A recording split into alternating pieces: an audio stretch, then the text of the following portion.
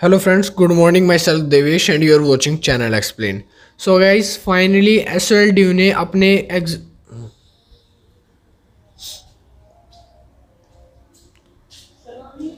hey guys good morning it's Devesh welcome back to another video so आज की इस video में मैं आपको बताऊँगा कि एस ओ एल ड्यू ने या फिर बोल सकते हो दिल्ली यूनिवर्सिटी ने एस ओ एल के एडमिशनों को स्टार्ट कर दिया है नए सेक्शन वाले जो कि ट्वेल्थ पास करके अभी बच्चे निकले और जो एस में एडमिशन लेने का वेट कर रहे थे तो एस ड्यू के एडमिशन स्टार्ट हो चुके हैं कल से ही। तो ये वीडियो आज मैं बना रहा हूँ। इसमें आपको मैं पूरा प्रोसेस बताने वाला हूँ कि किस तरह से एडमिशन कराना है, घर बैठे बैठे और किस तरह से पेमेंट वगैरह करनी है। सारी चीज़ें बता रहा हूँ साइबर कैफ़े की ज़रूरत भी नहीं पड़ेगी, ठीक है?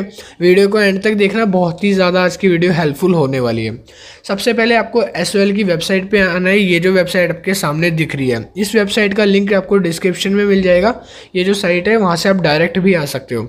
साइट पर जैसे ही आप आओगे, आपको थोड़ा सा नीचे आना है। नीचे आने के बाद आपको तीन कैटेगरी मिलेगी। जैसे कि आपको दिख रहा है UG courses masters of administration और नीचे लाइब्रेरी ऑफ़ इंफॉर्मेटिव साइंस तो अभी हम मास्टर्स की या फिर इंफॉर्मेटिव साइंस की बात नहीं कर रहे हैं। अभी हम बात कर रहे हैं सिर्फ़ undergraduate courses admission U G वाले। तो हम इस पर क्लिक करेंगे। इनकी सेपरेट वीडियो बनेगी, बाकी कोर्सेज़ की भी। तो उसकी जैसी मैं बनाऊँगा, आपको बता दूँगा। अब देखो, इसको डेस्कटॉप वर्जन में करके देख लेना, वो ज़्यादा अच्छा रहेगा। डेस्कटॉप वर्जन में सारी चीज़ें आपको समझ आएँगी। अब आपको करना क्या है? देखो, यहाँ से अगर आप प्रोस्पेक्टस पढ़ना चाहते हो फ़ीस वगैरह कितनी आप डाउनलोड करके पढ़ सकते हो एलिजिबिलिटी यहाँ से आप चेकआउट कर सकते हो अपने कोर्सेज की। कोर्स स्ट्रक्चर यहाँ से आपको मिल जाएगा, इस पर क्लिक करोगे और बगल में यहाँ पे पीडीएफ का ऑप्शन आ जाएगा इस जगह पे, ठीक है? हम बात कर रहे हैं एडमिशन की तो नीचे सबसे एडमिशन फॉर्म है तो आपको इस एडमिशन फॉर्म के ऊपर जो है क्लिक करना है इस जगह पर ठीक है? तो हम पहले इस पर क्लिक कर देते हैं। देखो एडमिशन फॉर्म आपके सामने कुछ इस तरह का आएगा और इसमें सबसे पहले आपको क्या करना है, ये नोटिफिकेशन दे रखी है फालतू की। इसको आप पढ़ना चाहते हो तो पढ़ लेना। हाँ एक मेन चीज़ है जो मैं आपको बता देता हूँ। देखो लास्ट डेट जो है वो थर्टी फ़र्स्ट अक्टूबर तक है। यहाँ पे लिखा last date thirty first October है एडमिशन की। हो सकता है बाद में एक्सटेंड हो जाए, मगर एक्सटेंड के ऊपर मत बैठना। एडमिशन अभी ले लेना अगर टाइम है तो ठीक है? और नीचे आपको दे रखा है प्रोग्राम कोर्सेज और कोर्सेज वाइज इनकी फ़ीस दे रखी है। किस कोर्सेज़ की कितनी फ़ीस है? जैसे कि बी कॉम ऑनर्स की है छः हज़ार चार सौ दस एम बी कॉम की है और पाँच हज़ार नौ सौ दस। तो इस तरह से आप फ़ीस स्ट्रक्चर भी नीचे देख सकते हो। किस कोर्सेज़ की कितनी फ़ीस है, ठीक है? आगे यहाँ पे रजिस्ट्रेशन कैसे करना है? तो देखो, सबसे पहले आपको एस के अंदर रजिस्ट्रेशन करना होता है। आईडी बनानी होती है एडमिशन के लिए। Click here for new registration आपको यहाँ पे क्लिक करना है। सबसे पहले हम यहाँ पे क्लिक करेंगे तो आपके आगे कुछ इस तरह का पेज आएगा। अब रजिस्ट्रेशन में जो जो चीज़ें आपसे मांगी गई है, वो केयरफुली आप इंपॉर्टेंट इंस्ट्रक्शन है, इसको ध्यान से देख लेना। सबसे पहले आप जो भी डिटेल्स दोगे, वो अपने एजुकेशनल डॉक्यूमेंट्स के अकॉर्डिंग दोगे। रजिस्टर्ड ईमेल एड्रेस डालोगे वहाँ पे और जो ईमेल एड्रेस आपका एक्टिव हो मतलब कि एक्टिव का मतलब होता है जो अभी काम कर रहा हो यूज़ कर रहे हो आप और उस पर मेल वगैरह आ रही हो, ठीक है? कोई पुराना मत डालना क्योंकि कोई भी एसओएल की नोटिफिकेशन आएगी तो उसी पे आएगी।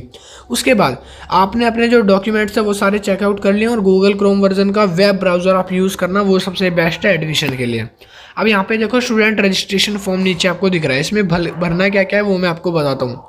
सबसे पहले यहाँ पे आपको यूज़र नेम डालना होता है। यूज़र नेम में आपको अपनी मेल आईडी डालनी होती है, जो एक्टिव हो, जो भी यूज़ करते हो आप मेल आईडी मेल आईडी कैसे डालनी है? सबसे आगे वाला जो वर्ड है ना, पहला वर्ड कैपिटल नहीं आएगा, पहला वर्ड स्मॉल आएगा। और जो मेल आईडी डालोगे, उसके पीछे जैसे आप लिखते हो at the rate Gmail dot com तो वो जी मेल डॉट कॉम मत लिखना।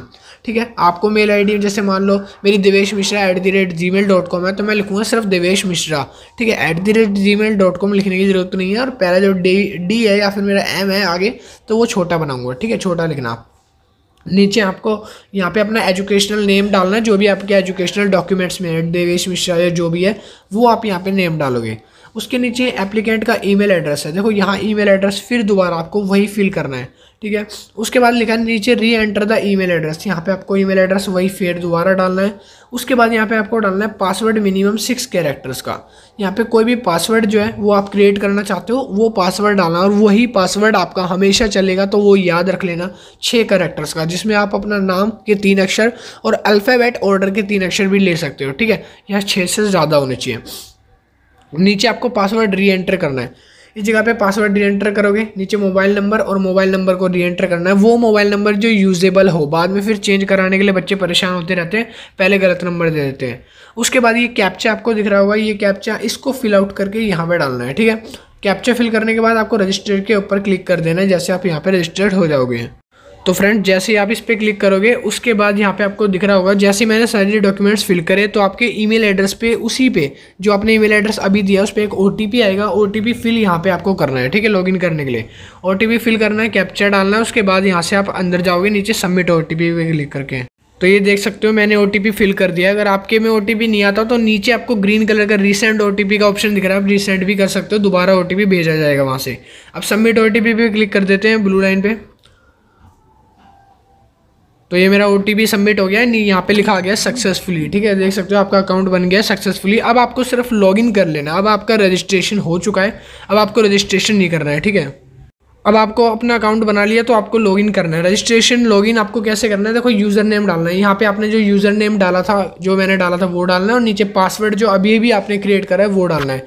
कैप्चा है। यहाँ पे आपको कैप्चा फिल करना है और नीचे सबमिट करना है। सकते हो। जैसे आप लॉगिन हो गए, आपके आगे कुछ इस तरह का पोर्टल ओपन हो जाएगा। ठीक है, इसमें आपके कुछ इन्फॉर्मेशन लिखी है, वो सारी आप रीड आउट करना चाहते हो, या एलिजिबिलिटी क्राइटेरिया वो आप रीड आउट कर सकते हो। उसके नीचे आपको प्रोग्राम वाइज फ़ीस आपको देखने को मिल जाएगी। ये फ़ीस है, इसको आप अगर नहीं पढ़ना चाहते इग्नोर करो। यहाँ पे आपको इंपॉर्टेंट टिक लगाना है, ठीक है? जिस पे आपको लगेगा कि आपने सारा कुछ रीड आउट कर लिया, फिर सबमिट के ऑप्शन पे क्लिक कर देना बस। सबमिट पे क्लिक करोगे तो इसके टोटल सात स्टेप हैं एडमिशन के। तो देखो, अब आपके आगे कुछ इस तरह का पेज ओपन होगा, ठीक है? अब यहाँ पे फिल क्या क्या करना है, मैं आपको फटाफट बताता हूँ। सबसे पहले यहाँ पे आपको पर्सनल डिटेल्स फिल करनी जितनी भी चाहिए। सबसे पहले आपको फ़र्स्ट नेम जैसे देवेश मिश्रा है तो देवेश आगे का आपको डालना है, ठीक है? उसके बाद नीचे आपको डालना है मिडल नेम जो आपका बीच का नेम है। उसके बाद डालना है आपको यहाँ पे अपना लास्ट नेम ठीक है? और काफ़ी बच्चों का जैसे होता है, दो ही नेम होता है तो ऊपर वाला और नीचे वाला डाल देना लास्ट नेम की ज़रूरत ही नहीं है फिर उसमें। उसके बाद यहाँ पर डालना है आपको date of birth date of birth आपको चूज़ करके सिलेक्ट करनी है। उसके नीचे आपको डालना है यहाँ पे जेंडर मदर्स नेम और नीचे आपको डालना है फादर्स नेम ठीक है? जेंडर सिलेक्ट कैसे करोगे? तो जेंडर सिलेक्ट करने के लिए देखो यहाँ पे, इस जगह, ये ऑप्शन है छोटा सा, ठीक है? इस पर आप जैसे क्लिक करोगे मेल फीमेल वो आप यहाँ से चूज़ कर सकते हो। उसके बाद कैटेगरी आपको चूज़ करनी है। अब जितनी भी चीज़ें यहाँ से चूज़ करने वाली है, जैसे कैटेगरी तो आप यहाँ से चूज़ करोगे छोटे छोटे डॉट्स लगे हुए हैं, ध्यान से देख लो, ठीक है? इस पर आप क्लिक करोगे तो यहाँ से category S C O B C जो भी है, वो आपको चूज़ करना है। नीचे आपका ब्लड ग्रुप है, यहाँ से आपको ब्लड ग्रुप चूज़ कर लेना है, ठीक है? उसके बाद यहाँ यहाँ पे है मैरिटल स्टेटस तो यहाँ से चूज़ कर लेना है, मैरिड एंड मैरिड डाइवर्स जो भी है। उसके नीचे पर्सन विद डिसेबिलिटी एप्लीकेबल। यहाँ पे अगर आपकी कोई डिसेबिलिटी है, हैंड फ्रैक्चर है, कुछ भी है तो यहाँ से आप वो भी चूज़ कर सकते हो येस या नो ठीक है? मोबाइल नंबर डाला है। अल्टरनेटिव मोबाइल नंबर डाल सकते हो। अल्टरनेट का मतलब होता है इमरजेंसी में कोई और दूसरा, जिसमें मेल वगैरह आ जाए। अल्टरनेट ईमेल एक और दे देना, क्योंकि बाद में बच्चे चेंज कराने को घूमते हैं, जो है कि एक्टिव हो। ख़राब ईमेल और फ़ोन नंबर बिल्कुल मत डालना।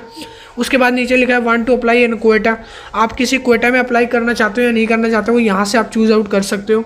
नेशनैलिटी क्या है वो डालनी है, यहाँ से आप चूज़ कर लेना। उसके बाद एड्रेस है नीचे आपकी एड्रेस लाइन दे रखी है। एड्रेस लाइन दो है जिसमें आपको दोनों में एड्रेस डालना है। आधा इसमें डालना हाफ़ इसमें डालना, नीचे सिटी और पिन कोड और स्टेट डाल देना है। ठीक है? ये सारी चीज़ें फिल आउट करने के बाद लिखा है उसके बाद as you non resident of India are you non मतलब कि इंडिया में रहते हो या नहीं रहते तो येस या नो यहाँ से चूज़ कर लेना यहाँ से आप देखोगे येस या नो यहाँ से आपको बदल जाएगा। नीचे आपकी बैंक डिटेल्स आएगी। बैंक डिटेल्स बहुत ज़्यादा इंपॉर्टेंट है क्योंकि गाइज़ अगर आप पैसे पेमेंट कर रहे हो, अगर आपको इन केस रजिस्ट्रेशन कैंसिल कराना है या फिर रिफंड चाहिए तो आपके बैंक में पैसे वापस एक महीने का टाइम होता है, उसी में आपको रिफंड मिलेगा, वरना नहीं मिलेगा एडमिशन कैंसिल पे।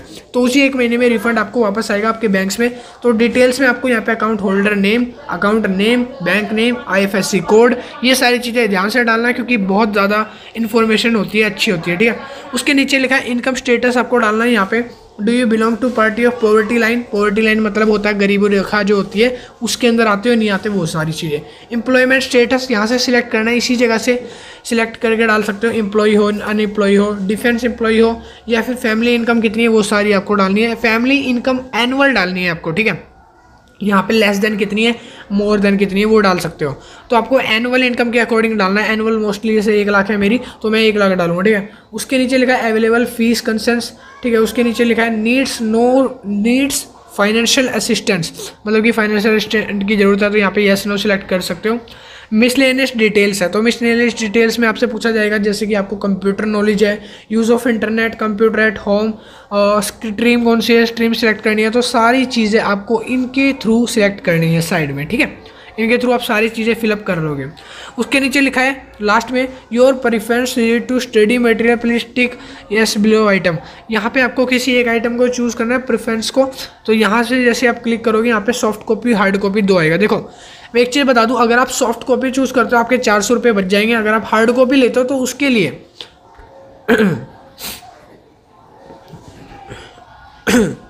तो एक चीज़ बता दूँ, अगर आप हार्ड कॉपी लेते हो तो हार्ड कॉपी के लिए आपको एस एल कैंपस जाना पड़ेगा बुक लेने। आपकी फ़ीस नॉर्मली जैसे बाकी बच्चों की होती है, वो चार्ज होगी, ठीक है? और यहाँ पे आप चूज़ कर सकते हो सॉफ्ट मटेरियल हार्ड मटेरियल तो मैं तो कहूँगा आपको हार्ड कॉपी चूज़ करना सॉफ्ट तो साइड पे फ्री में भी देखने को मिल जाती है, ठीक है? बाकी हार्ड लोगे तो ज़्यादा अच्छा है।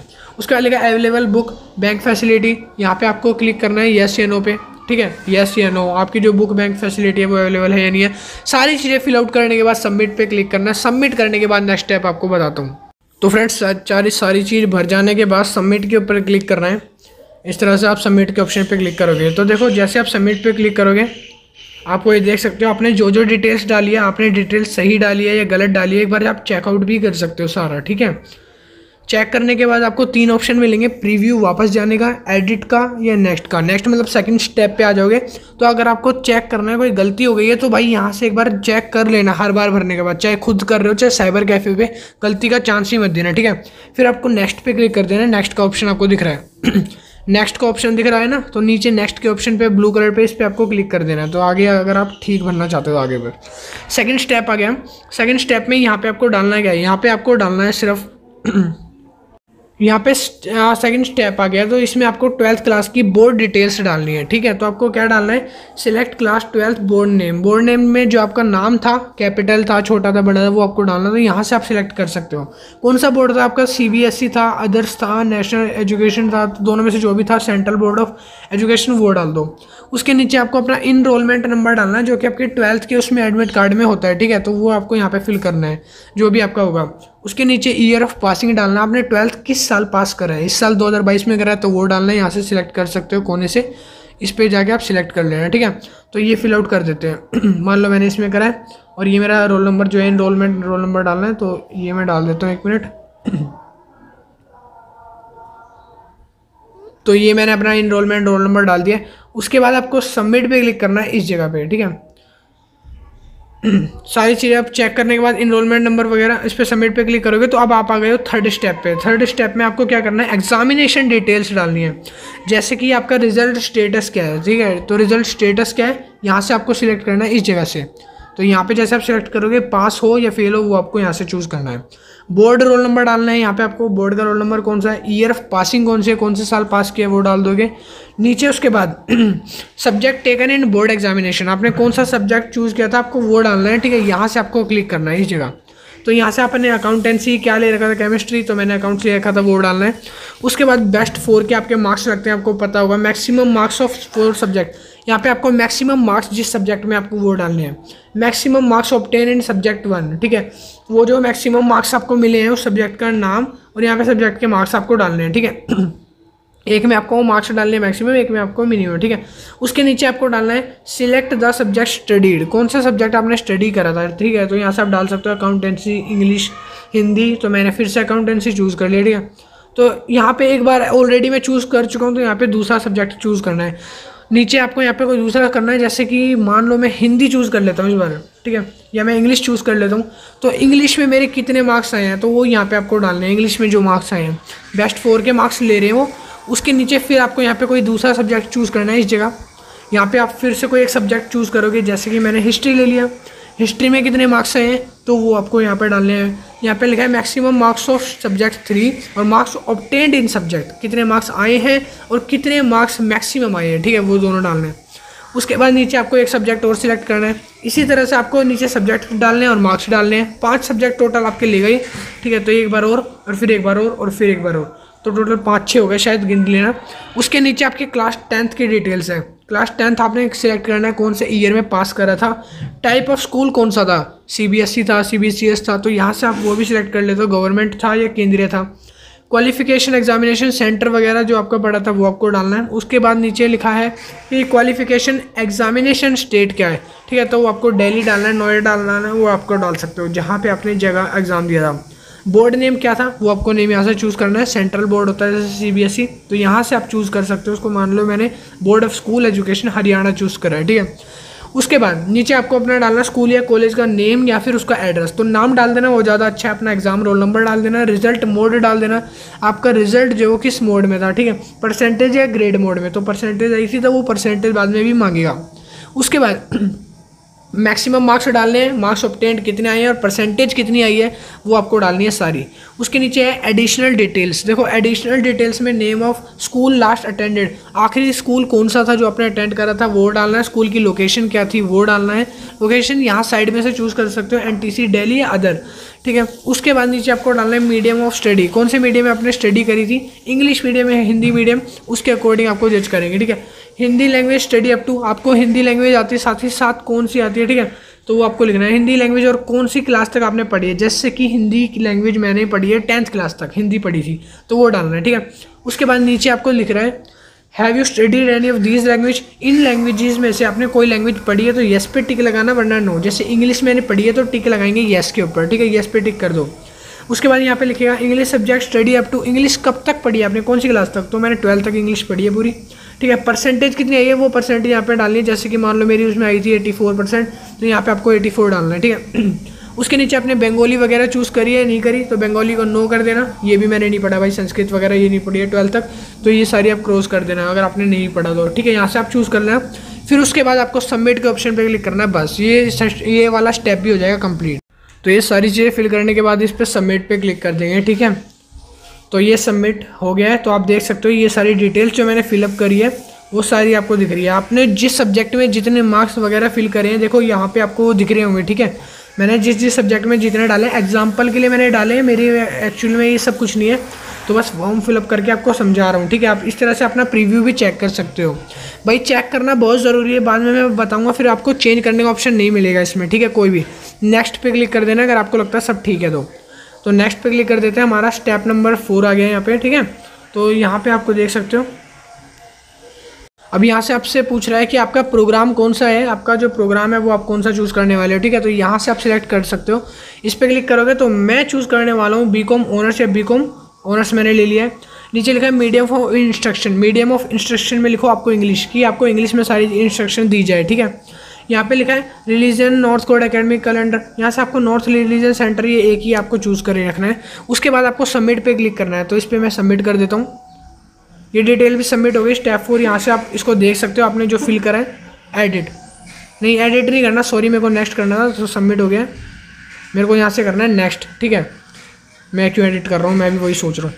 उसके बाद यहाँ पे आ गया स्टेप नंबर फाइव जिसमें आपको अपना कोर्स सिलेक्शन करना है। अब जो आप कोर्स लेने वाले हो, वो चीज़, ठीक है?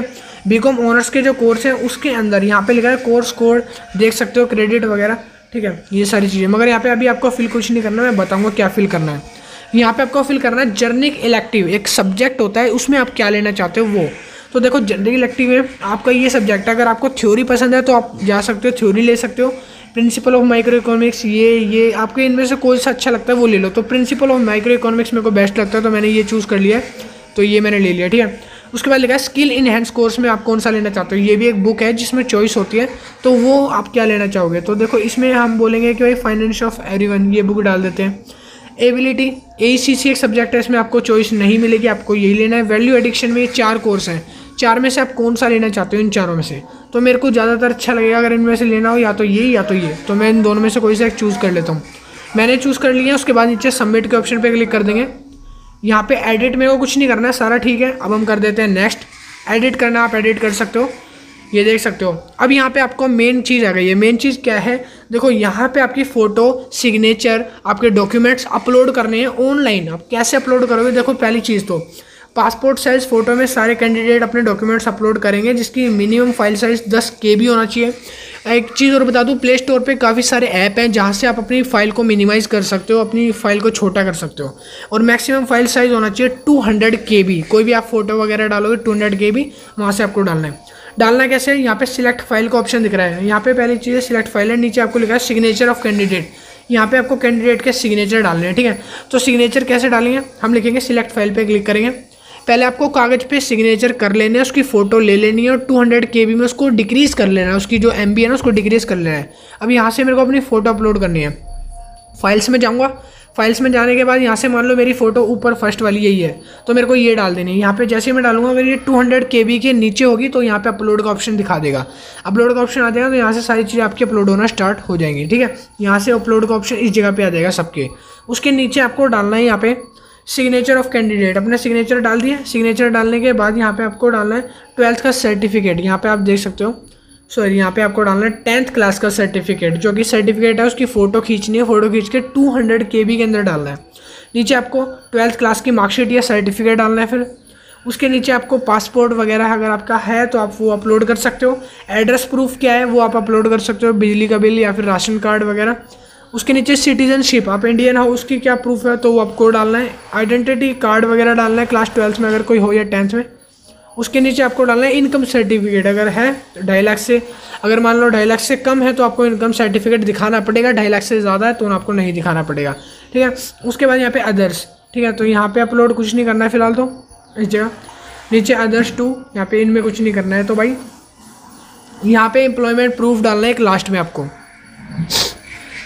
सबसे लास्ट में आपको एक डालना है एम्प्लॉयमेंट प्रूफ ठीक है? यहाँ पे अपनी सिलेक्ट फ़ाइल करके एम्प्लॉयमेंट प्रूफ डालना है। उसके बाद अगर आपने सारी चीज़ें डाल दी तो आप इसको नेक्स्ट के ऊपर क्लिक कर देना। नेक्स्ट ऑप्शन पे आप आ जाओगे। सो फ्रेंड डॉक्यूमेंट सिलेक्ट कैसे करने हैं, वो भी मैं आपको सिखा देता हूँ। देखो, यहाँ पे सिलेक्ट फ़ाइल का ऑप्शन दिख रहा होगा। आपको इस पर सिलेक्ट फ़ाइल पे क्लिक करना है। फाइल्स पे जाना है, जहाँ भी आपके डॉक्यूमेंट्स वगैरह रखे हुए हैं।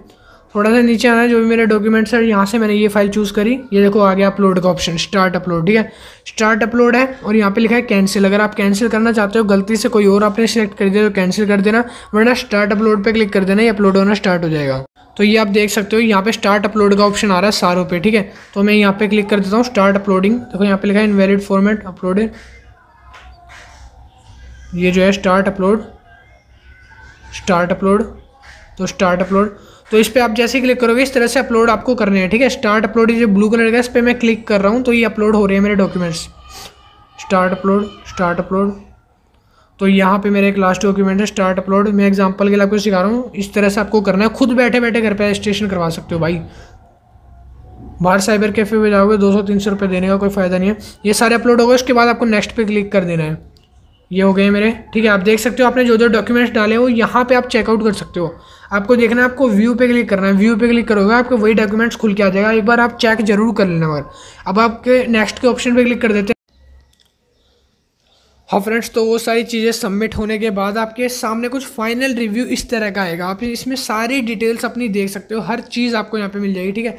जो भी चीज़ हमने डाली होगी, नंबर वगैरह, आपके बैंक अकाउंट डिटेल्स आपके जो भी स्कूल बोर्ड मार्क्स हैं, वो सारे आप चेकआउट कर सकते हो। तो आपने देख लिया होगा, अगर ये सारी चीज़ें ठीक हैं, तभी आप इसको प्रीव्यू पे तभी क्लिक करना। नीचे आपको देखो जगह जगह पे ये येलो कलर का मॉडिफाई ऑप्शन मिल रहा है। मॉडिफाई सेक्शन का मतलब होता है अगर आपको किसी सेक्शन में दिक्कत लगती है तो मॉडिफाई पे क्लिक करके आप अपने डिटेल्स को या फिर जो गलतियाँ हैं उसको ठीक कर सकते हो, ठीक है?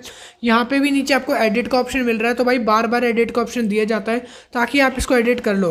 यहाँ पे आपको प्रिंट द पेज का ऑप्शन मिल रहा है, इस पर क्लिक करके इसका प्रिंट आउट लेके रख सकते हो। पहले प्रिंट आउट साइबर कैफ़े से कर रहे हो, खुद कर रहे हो प्रिंट आउट लेके रख लेना स्कैन करके, ताकि आपको प्रूफ रहे कि आपने सारी डिटेल्स फिल करी है।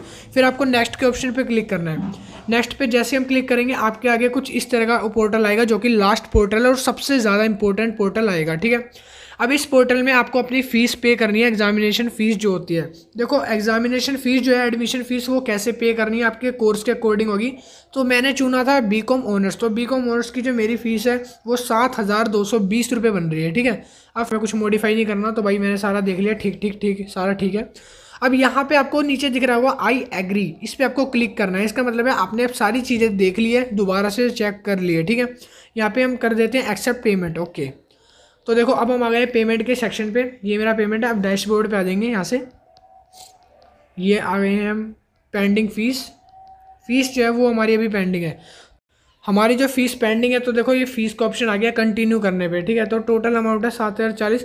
यहाँ पे लिखा है पेमेंट गेटवे इज़ क्लोज्ड जो आपका पेमेंट सेक्शन है, वो अभी क्लोज्ड है। आपका फॉर्म सेव हो चुका है प्रिंट आउट हो चुका है तो आप साइट को ऐसे ही छोड़ सकते हो फ़िलहाल। पेमेंट का जब ऑप्शन आएगा, आप तब पेमेंट कर सकते हो। अभी पेमेंट का ऑप्शन नहीं आ रहा। पेमेंट पे आपको एसबीआई बैंक या यूबीआई बैंक बोलेगा, जो भी आपको वहाँ से credit card debit card cash या ऑनलाइन आप वहाँ से पेमेंट अपनी साइबर कैफ़े से करवा सकते हो या आप खुद कर सकते हो। फॉर्म मेनली यही था कि फॉर्म को कैसे फिलअप करा जाता है। तो देखो फॉर्म के सात स्टेप थे जो मैंने आपको सारे बताए। सातवां स्टेप है आपका पेमेंट का, जो अभी आ नहीं रहा है यहाँ पे शो नहीं कर रहा है। पेमेंट आपको करनी है, वैसे भी वो मैं दिखाऊँगा नहीं आपको तो फॉर्म फिलअप करना वो हो चुका है आपका। आई होप वीडियो अच्छी लगे तो वीडियो को लाइक करना वीडियो को चैनल को सब्सक्राइब करना एस के रिगार्डिंग वीडियो के लिए। किसी का कोई डाउट रह जाए, इसमें भरते भरते फॉर्म में कोई गलती हो जाए तो एडिट का ऑप्शन मिलता है, आप वो कर लेना। और पेमेंट के लिए साइट एक तो अच्छी चलनी चाहिए नेट इशू नहीं होना चाहिए। बीच में अगर पेमेंट अटक गई तो बहुत बुरा हो जाएगा, ठीक है? पेमेंट रिफंड ऐसे नहीं मिलेगी, जब तक वहाँ भी नहीं पहुँची। तो देखो पेमेंट करते समय बी केयरफुल और आई होप वीडियो अच्छी लगे तो लाइक करना चैनल को सब्सक्राइब करना। एस के रिगार्डिंग सारी अपडेट्स चैनल एक्सप्लेन पर आपको मिलती रहेगी। ऐसी प्रोसेस वाली वीडियो मैं एम बी भी बना दूँगा जल्दी, वो भी आपको देखने को मिलेगी। मैं मिलूँगा नेक्स्ट वीडियो में भी लेते नहीं थैंक यू